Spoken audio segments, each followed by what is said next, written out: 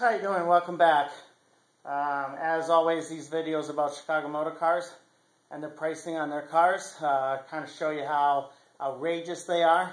Um, and so we're gonna we're gonna finish the night with a 2006 Ford GT uh, two-door coupe. VIN number ending in 0113.